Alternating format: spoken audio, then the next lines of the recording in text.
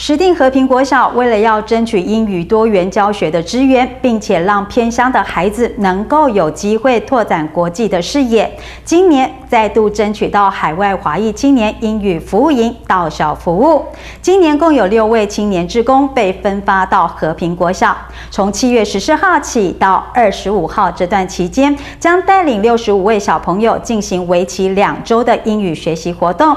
对于能够帮助小朋友学习英语，青年志工们都表示相当的开心。由教育部与侨委会共同办理的海外华裔青年英语服务营，继去年来到石定和平国小后，受到了小朋友热烈的欢迎。今年再度扩大举办，除了和平国小学童可以报名参加，另外石定和永定国小的孩子也都能够来参与。由六位海外青年职工带领六十五位小朋友，从七月十四号起到二十五号，将进行为期两周的英语教学活动。能够和小朋友一起相处，服务团成员们都觉得很开心。表示将透过活泼的游戏方式，让小朋友能够轻松学英文。我很喜欢，我真的觉得小孩子让我很开心。每次教他们，他们开始懂的时候，就是让我有很有一个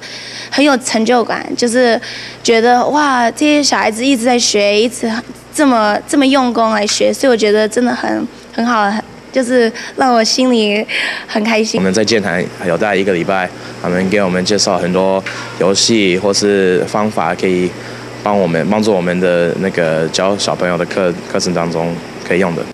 利用分组抢答，让小朋友们不再死背单字，而小朋友们也积极的表现，希望能够为自己的队伍获得好成绩。参加英语服务营的小朋友表示，这样的上课方式很有趣，大家都说想要学好英文，希望有机会到国外去时能够好好的运用。老师会给我们一些互动，例如说是玩游戏，或是那个让我们练习，然后让我们拼出单词，觉得很不一样。学到很多更多的英文，而且呢还可以还可以增广一下见闻，这样呢到国家到外国的时候就可以就可以更加顺利的跟外国人对话。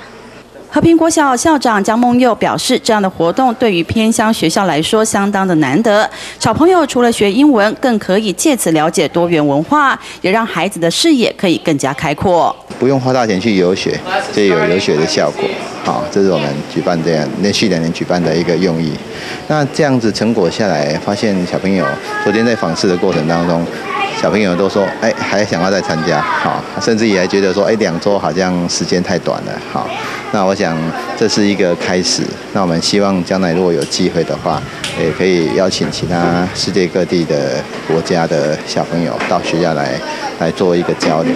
为了白天的上课活动，这群华裔青年职工都是利用晚上时间准备。而为了使他们也能够了解台湾文化，校长江梦佑表示，都会邀请青年职工前往当地的小朋友家中做客，让彼此的交流除了语言之外，还有着满满的热情。记者杨邦友、张方琪实地采访报道。